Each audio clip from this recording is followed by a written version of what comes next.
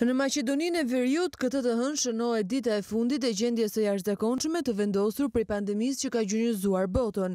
Afati i gjendjes së jashtëzakonshme u vendos nga presidenti pasi u shty për herë të pestë radhazi. Afati i fundit ishte me pesëmbëdhjetë qershor, i cili përfundon me datën njëzet e dy. Kështu do të nisin përgatitjet për mbajtjen e zgjedhjeve me pesëmbëdhjetë korrik pas marrëveshjeve politike në Shkupin zyrtar. Në zgjedhjet e përgjithshme parlamentare sipas listave të dorëzuara do të marrin pjesë pesëmbëdhjetë koalicione. Fushata zgjedhore nis të mërkurën me njëzet e katër qershor ndërsa mbaron me dymbëdhjetë korrik. Partitë politike gjatë fushatës do të duhet të respektojnë masat për mbrojtje nga pandemia e Covid nëntëmbëdhjetë. Votimi në zgjedhje do të realizohet për tre ditë, ndërsa do të votohet nga ora shtatë deri në orën njëzet e një. Me trembëdhjetë korrik do të votojnë personat e diagnostifikuar me Covid nëntëmbëdhjetë si dhe personat të cilët kanë vendim për izolim. Me katërmbëdhjetë korrik do të votojnë personat me sëmundje kronike si dhe personat e tjerë që sipas Kodit Zgjedhor votojnë një ditë përpara mbajtjes së zgjedhjeve.